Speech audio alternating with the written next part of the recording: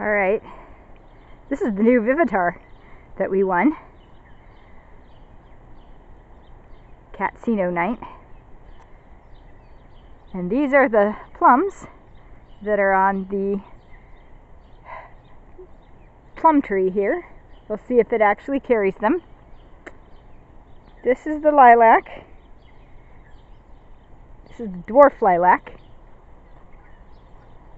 Oh, and we have a silver spotted skipper.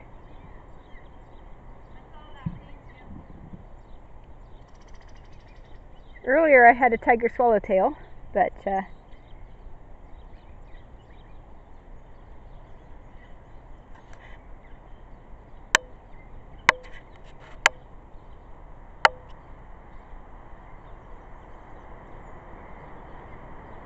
and then this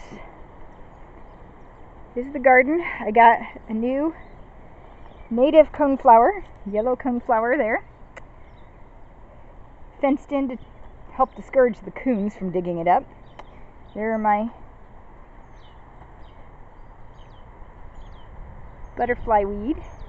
And down here, these little tiny things, I think those are whorled milkweed. And over here is the look-alike prairie clover. I think that's the way that works. I have some anise hyssop, which is new this year. And golden Alexander. I just planted these guys.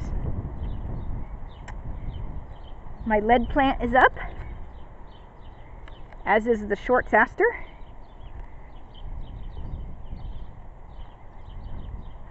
Downy sunflowers.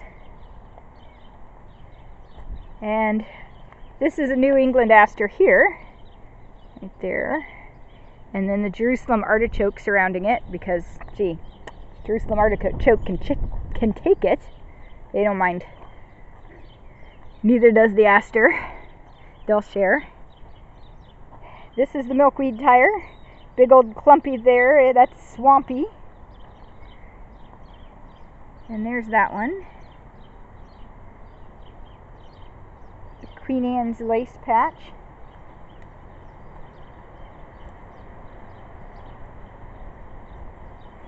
The rest of the echinacea.